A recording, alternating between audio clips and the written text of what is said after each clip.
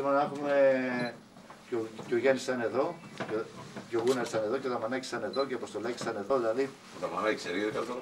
Δεν είπα το χρόνια. Μνήμες του παρελθόντος ξύπνησαν για τον Γιώργο Παράσχο, καθώς το βράδυ της Παρασκευής είχε την ευκαιρία να δει από κοντά τα 1014 εκθέματα που υπάρχουν στο Μουσείο του Γαλανόρου Κουφαρού.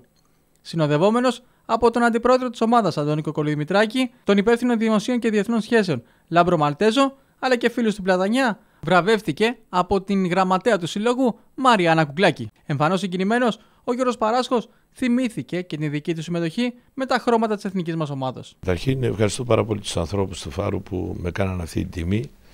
Ε, μου θυμήσανε και έτσι και γεγονότα τα οποία πριν 30 τόσα χρόνια, ας πούμε, 35 χρόνια τη συμμετοχή μου, ας πούμε, τότε που είχα στο παιχνίδι ας πούμε, της ε, Εθνικής Δανίας με την Ελλάδα. είναι το παιχνίδι Δανία-Ελλάδα, 1980 μπήκε στο 70 στη θέση του τελικάρι.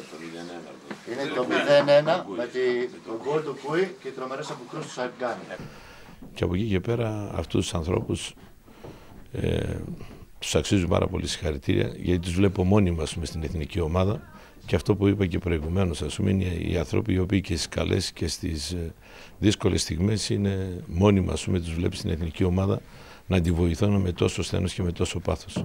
Μακάρι να βγουν ας πούμε και άλλοι οι οποίοι να βοηθήσουν αυτούς τους ανθρώπους και αυτό το μουσείο και αυτό δεν ήξερα στα Χανιά πραγματικά ότι υπάρχει αυτό το μουσείο και αυτά που είδα εδώ μέσα ας πούμε με συγκίνησαν πάρα πολύ.